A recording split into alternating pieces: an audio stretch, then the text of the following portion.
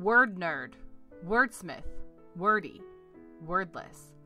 Oxford Dictionary says a word is a single, distinct, meaningful element of speech or writing, used with others or sometimes alone. We say each one matters. No extra words is literature, minimalist style, and we're getting you right to the story. Dust Jackets by Samantha Dutton. This is the retirement home of literature. Its residents don't need to be embarrassed of their brittle bones, wrinkled skin, liver spots, and faded scars. Jane Austen invites me to high tea and a turn around the garden. Moby Dick catcalls me beneath a violent stormy sea. Luring me into gothic places, I hear the cries from the victims of Dracula and Frankenstein. Taking care with every fragile page, I show respect to my elders. I am greeted by faces I have always held dear to me. The adventurous Secret Seven gang waiting to solve their next mystery. The watercolors of Tom Kitten and Peter Rabbit, all clad in bonnets and cardigans, peering up at me with innocent eyes. Hmm, I know the mischief they have been causing. I have long kept their secrets. Oh, and that smell, like sniffing glue. I remember an episode of QI told me that the fungus growing between the pages releases a certain chemical. Some writers even admit to getting a high off it. Ah, I know the feeling. The dilapidated spine of a Dickens book is weakly bound to coarse brown pages. Beyond the faded text, I see an ancient man whose pen and ink body is hunched under the protection of a hefty coat. I don't want to let him go.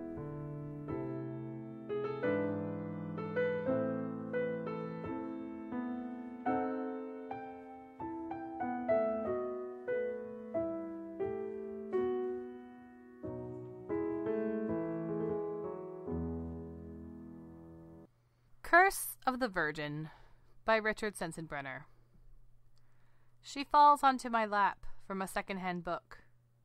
She has a look a bit put out about the whole thing, but wouldn't complain. She is a vision in red, white, and blue, standing palms out, her halo unwilling to be upstaged. That hooded cape is a light blue, and the perfectly pleated tunic a plain, unblemished white. What really sticks out, perhaps literally, is the goose blood red heart. There is no room for lungs, I think, while looking at that huge heart with its own halo. She is anatomically incorrect. I turn her over, and the back reads, In memory of Doris, and then some Polish name requiring time for dissection, followed by an invocation to God. These holy cards are a flat commemorative. My mind instantly draws the correlation with baseball cards, old women gathering together to trade a Gladys for an Ethel. Sandwiched in plexiglass is the rare Francine whose wake took place during a blizzard. I turn her back over. She looks like Donna Reed. Not a bad thing at all. Not very authentic. I move to throw her in the wastepaper basket, but I can't for some reason. The card sticks in my opposing digits. I can't discard the Blessed Virgin and Doris what's her name ski. I am a Catholic for Christ's sake. It's only paper. What if I wrote both their names on a piece of paper, crumpled it up, and tossed it? I get out a piece of paper, fumble around for a pen, write their names, and now I have two of them. Reading my book for pages, I ignore them both and wonder why this stuff always happens to me. It's not like they take up a whole lot of space. I can put her with my own collection of dead relatives, maybe. Can I take a total stranger like Doris and include her with my relations? My wandering eyes conveniently notice a library book on the other side of the room. I'll institutionalize her, put her between the pages, deposit her in the drop box, and run like hell. It's a government problem. But now Donna Reed, in her prelude to a habit, looks me in the eye. What if the next person crumples Doris into a ball and tosses her with the eggshells or coffee grounds? I introduce Doris to my dead relatives, and she now resides with them in the very top drawer of my dresser, along with a tangle of rosaries and chainless medals.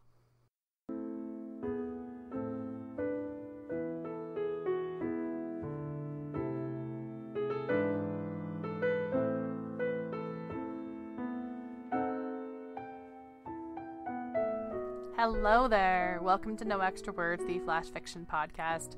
My name is Chris Baker Dersch. I'm your producer and editor. I love National Poetry Month. This episode is going to be long enough, and so you do not have time to listen to me talk about how much I love National Poetry Month.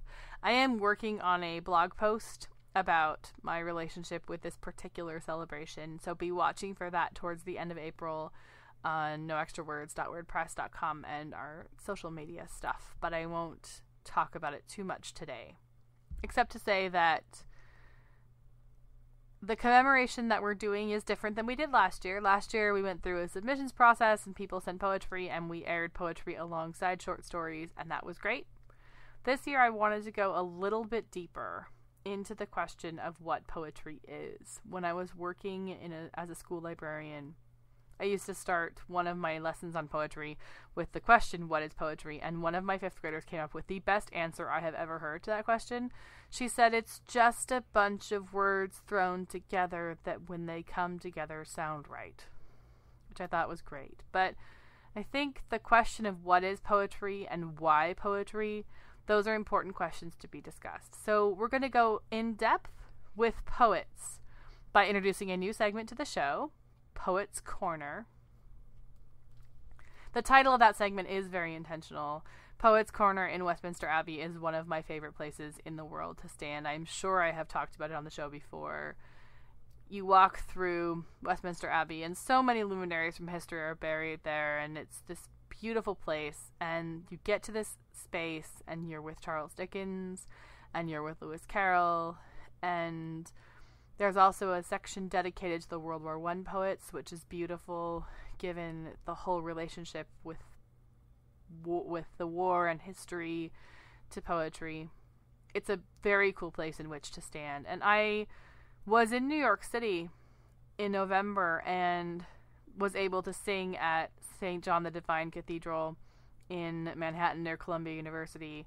Really cool experience to get to sing there. And I did not realize until I was walking around that place that there was an attempt to make um, an American version of Poets Corner in St. John the Divine, the Cathedral of St. John the Divine. And that's also an impressive place to stand. And so when you stand in the presence of these writers and these poets from history, it makes you, I think, really think about the relationship between literature and society.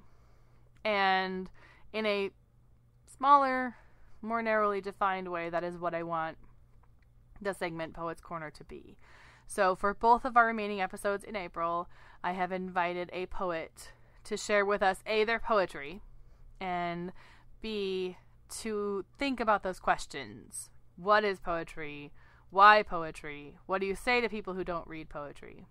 And so, for the first of the Poets Corner segments, I got to take a field trip, and I'm going to bring you my little audio diary of a field trip I took to meet Kelli Russell Agodon, poet and publisher, in her office in Kingston. She's going to share with you some poetry, and then she and I are going to talk about why poetry, why small press, why is this so important. So I hope you enjoy that journey.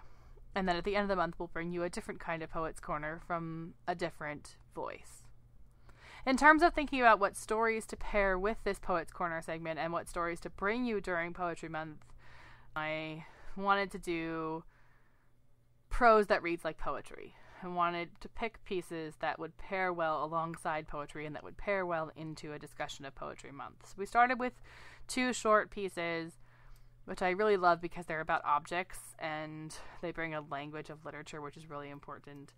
And we're ending with a piece that I just it feels autobiographical. I'm sure it is, and when you hear it and hear what it's about, you'll also understand why it speaks to me in a different sort of way. And I think it's a really interesting piece to put into a conversation about writing in small presses. So that is today's episode. I hope you really enjoy my little field trip journey, hearing from Kelli Russell Agodon, and stay stick around for our final story of the episode. And pick up some poetry this month. Give it a read, give it a go, give it a try. And we'll see you next time here on No Extra Words.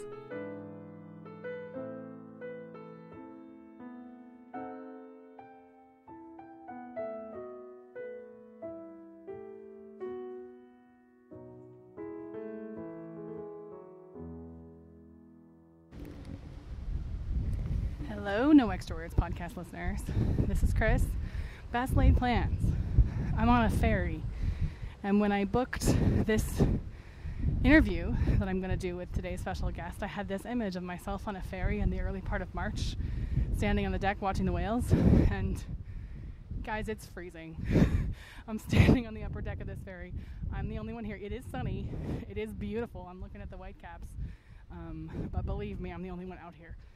I'm watching the boat leave where I came from so I can see the shoreline where my car is parked from here.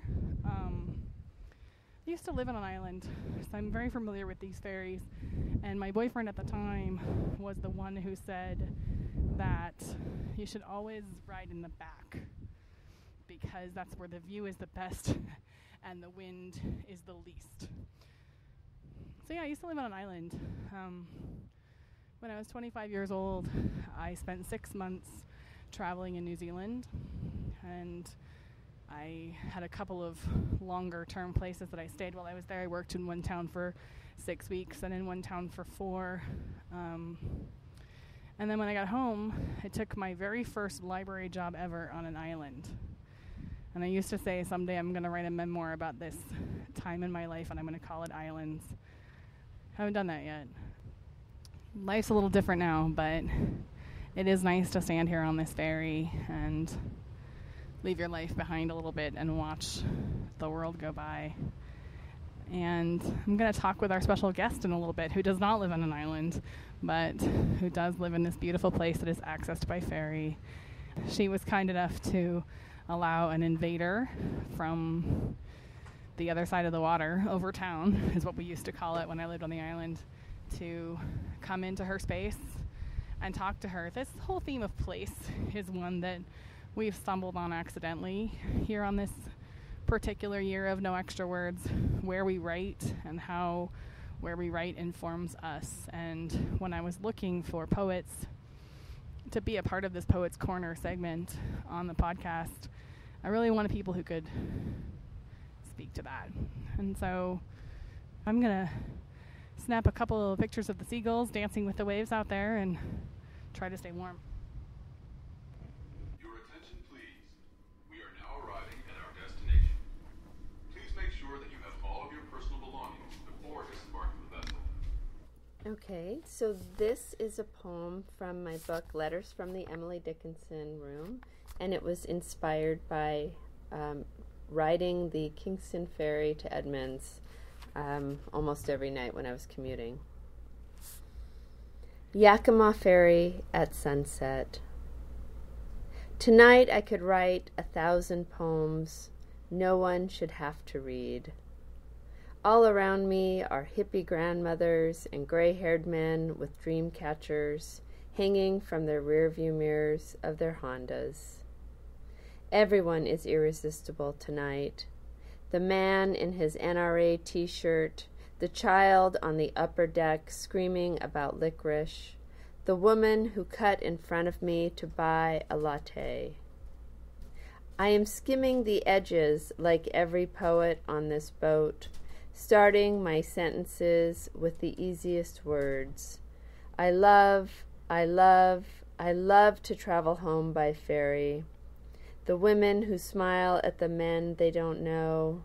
How my tongue feels in my mouth, a sort of heaviness that never leaves. And this poem's also from Letters from the Emily Dickinson Room, which was published by White Pine Press. And the poem is called Memo to a Busy World, and it was um, actually a letter to God, and it was in such a busy time during my life that it ended up being just a memo to God because I was too busy for a full letter. It's called Memo to a Busy World. When God knew the gifts He had given me, He said, No give backs. And so, with flora and fauna, came the spiders my father's disease eating through his veins. And when I knew sadness, God added slot machines, persimmon martinis, tabloids of movie stars without their makeup. He told me to wait in the longest lines. I browsed horoscopes, bought Altoids and Star magazine. I forgot the sweet breath of my husband sleeping next to me. I forgot how little I arrived with.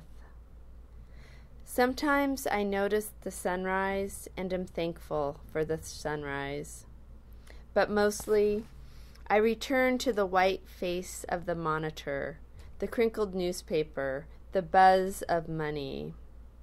When he whispers, I don't always hear until a city disappears underwater, a building falls, a war begins. He knows what he has given me the blackberry bush full of red winged blackbirds, the song of circling bees. And I forget, trying to believe I can live on my own without being stung.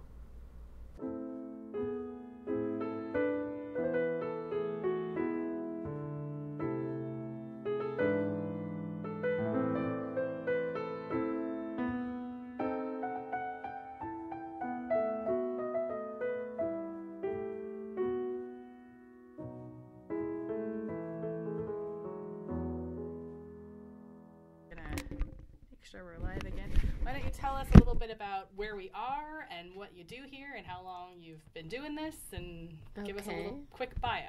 Um, well, I'm Kelli Russell Agodon. I was a poet. I am a poet. I'm now an editor and a co-founder of Two Sylvias Press here in Kingston, Washington.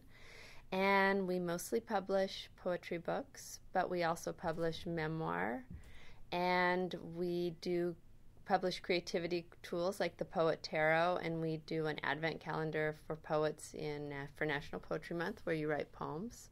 So we're really interested in creativity and um, kind of stepping out of the box when it comes to small presses. So we're doing a lot of different things right now. And how long has the press been around? Uh, the press has been around since 2010, and we've been in this office for almost two years. For um, a while, we were kind of working out of our kitchens and in coffee shops and all around. What inspired you to start a small press? Um, it was an accidental press. it was started accidentally. We were on a ferry and we were coming home from a reading event in Seattle, and we had both received e readers. And we were looking for poetry books, and this was maybe 2008, 2009 and there were no poetry books because poetry comes late to everything. And so we said, wouldn't it be great if there was a women's anthology of poems? And there wasn't. And we said, yeah, someone should do that. And then we said, well, we should do it. So we did it. And then we had to find a publisher. And we said, well, maybe we should just publish it. And then the next thing you know, we had started Two Sylvias Press. So watch out for ferry rides and a glass of wine. it's the glass of wine that gets you. yeah, you time. think you can do everything, and that's and, how it started. And about how many books do you do a year? Oh, that's a really good question. Um, it's varying. This year we're doing. Let's see. We have um, Kate de Gutes' memoir, The Authenticity Experiment, coming out. Um, two books of poems, two chapbooks, a book of poems. I don't know, maybe like four or five poetry books and a memoir, and then sometimes a craft book. Like we're going to do the Daily Poet too, which is writing prompts again. We'll have a book on um, publicizing poetry, come out by Jeannine Hall Gailey. So it varies. What would your advice be to a writer who wanted to get published via a small press? How is that experience different? What would you tell them to look for, be aware of? Um, first is to be aware of um, the books they publish to see if you like the look of them because really that makes a big deal on whether you're going to appreciate to have your book be published by that. Um, it's good to know the people support the press in other ways just to make sure that they're a press that you connect with. I think so much of publishing is finding a fit. Um, a small press can be great for a lot of people because we have a lot of freedoms. We work with our poets and writers on finding great covers and finding something they love. And a lot of times, if you go for a larger press, they just say, here's your cover, here's your title. Um, and we believe it's a collaborative effort. So, um, yeah, look around, go to bookstores, read, and, and um, submit to the places you love and whose books you love, because most likely they're going to be a better fit for you. We usually do fiction on the show, but Yeah. we're doing poetry this month because I always make wherever I am, I always make everybody absorb some poetry during the month of April. I was a school librarian, so it's like ingrained in me. So we were talking about this before we turned the mic on. But what what do you tell people who say, "Oh, that's so cool, you're a poet. I never read poetry." Right. They say that. Or they think of, for a long time, they thought of Hallmark cards when you said you wrote poetry and then they think everything rhymes.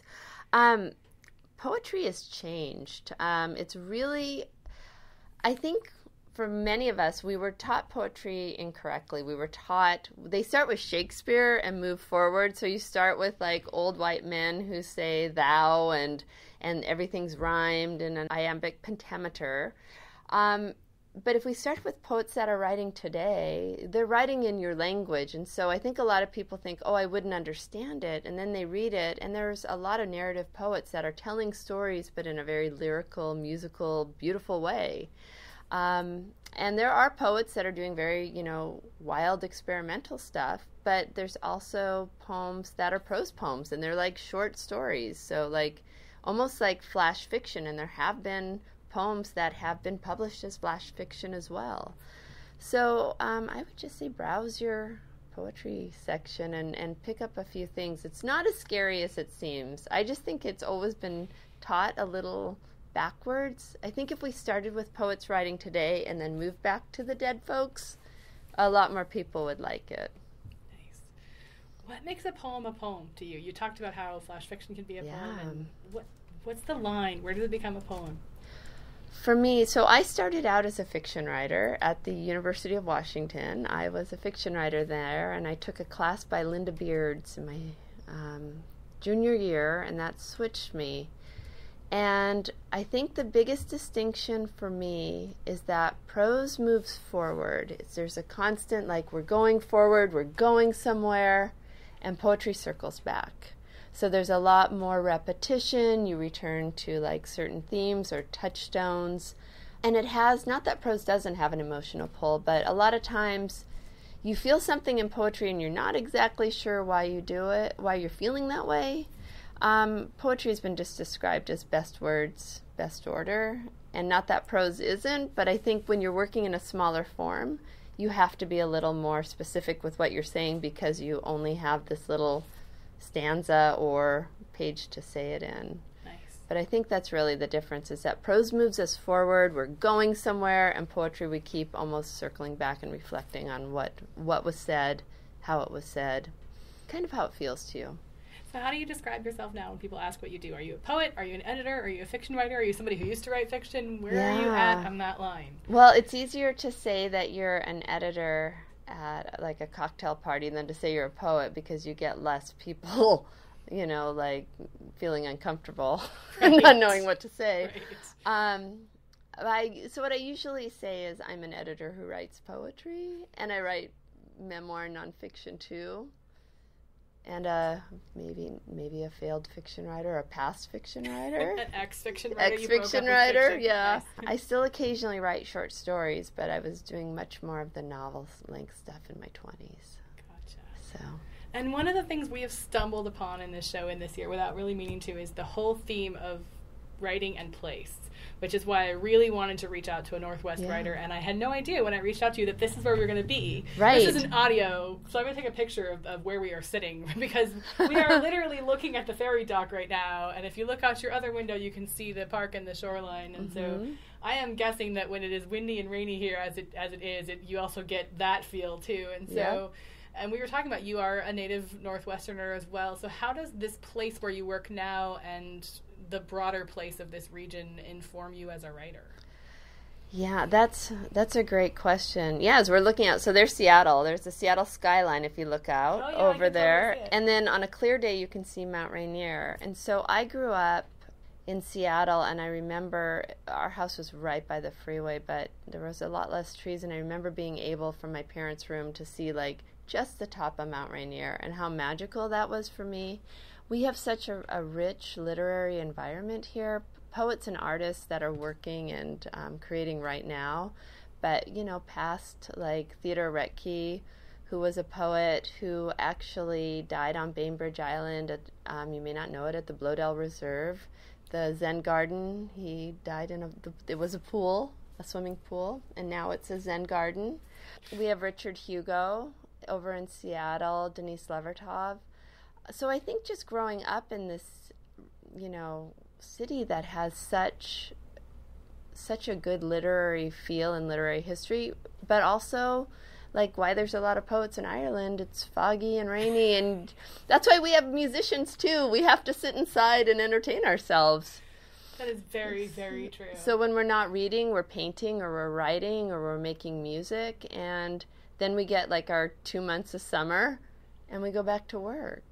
So for me, I'm I, and I love nature and I love. Um, you know, I'm, I'm learning all, I'm still learning all the birds. We're getting new ones because of climate change. You know, some of the more southern birds are showing up.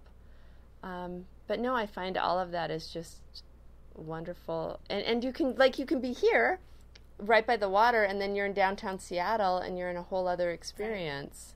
And it's all within, you know, an hour from each other.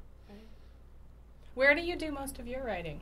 Are you a person who has like a set, set space, or are you somebody I, who writes in the wild? I did. I did. I used. I my old house I just moved from in May had a, a writing shed in the backyard, and I wrote in my shed. It was it was built there so I could write. And now I have a table in my living room because I'm in a much smaller home, and I'm still trying to get a feel for it. But I go up to um, I go on writing residencies and even if I'm in the Northwest, there's a few around here um, where I just, if I can get a week, I can do a lot of work. But I try to write in the morning or the evenings or when things are quieter.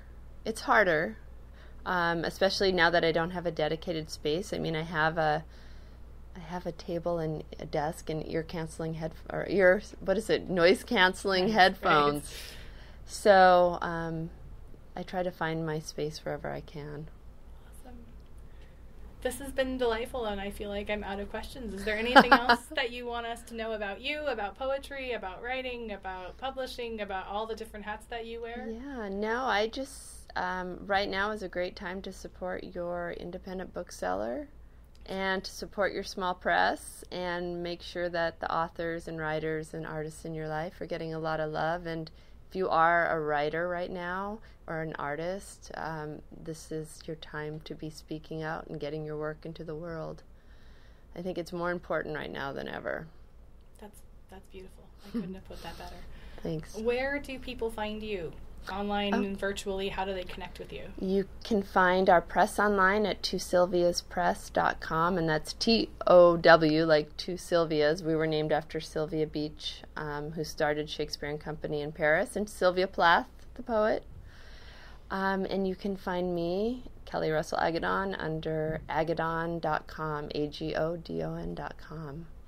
And we're all over Facebook and Twitter. And do you have anything coming out or anything that you're promoting? I always like to give people a chance to sell themselves. Oh no, I am working. I am in. I am in the creative part. So no books coming out yet. It, maybe in the next three years, but right now it's all about generating work.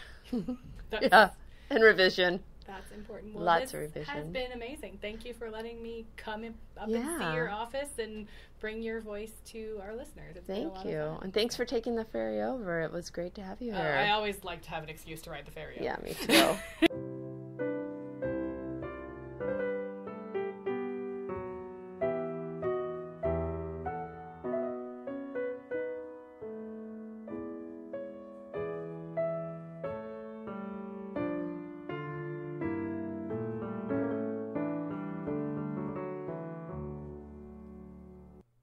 Guidelines by T. E. Cowell. He sends another story to another magazine he doesn't read. He knows he shouldn't do this, that he should read not just some of the magazines he submits to, but all of them, or at the very least a story or two from them, so that he has a good idea what sort of fiction such magazines strive to publish. But he does it anyway. What's more, he submits to magazines he doesn't read fairly regularly, about as regularly, if he had to guess, as he submits to magazines he does read. Why does he do this when he knows he shouldn't?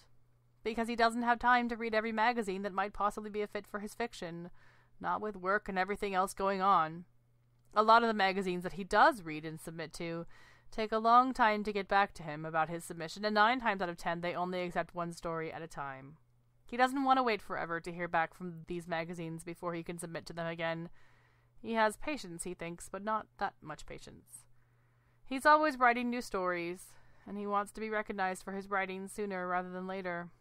His dream, as far fetched as it sounds, as well as cliched, is to quit his day job and start writing full time, or at least be able to devote more of his time to writing.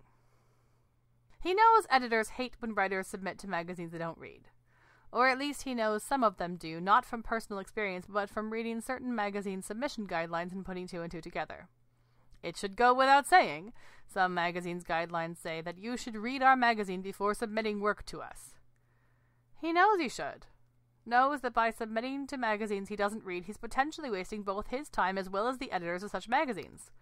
But still, he does it anyway. Sometimes, though, more often than not, though, he gets an encouraging rejection back from these magazines. A few times he's even gotten some stories published in magazines he's never read before, but that he starts to read after his stories published in them. He's even developed a rapport with a few such magazines that he now submits to quite regularly. And what about the magazines he reads before he submits to them? Do they ever publish his stuff? No. Not yet, at least. Most of the magazines he reads before submitting to are what are known as top tier magazines. Magazines that, if he were to get published in, might potentially jumpstart his career as a writer. The magazines he doesn't read that he submits to probably wouldn't do too much as far as his career is concerned, but getting a story published anywhere is encouraging and keeps him, he thinks, writing on a more or less continual basis. He shouldn't be all that surprised, then, and isn't really, when one day he gets a blunt email from the editor of a magazine he submitted to without first taking the time to read. The email goes something like this It is clear to me that apart from not having familiarized yourself with our magazine before submitting to us, you also haven't taken the time to read our complete list of guidelines. If you had read all the guidelines, you would have learned that we do not publish stories about writers, period. I did take the time to read your story, though, and thought on the whole it wasn't bad, and that you might be able to place it with another magazine. But as for us, because you didn't heed our guidelines, don't worry, you're far from the only one.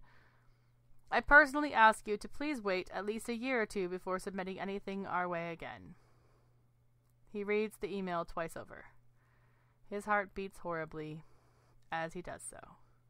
He feels like a hack, a fool. He vows that from this day forth he'll change his ways, patience or lack thereof, be damned. Thanks for listening to the No Extra Words podcast. For more information on today's stories and contributors, or to learn how to submit your own work, please visit us at noextrawords.wordpress.com. The best support you can give the show is to recommend us to your family and friends. See you next time.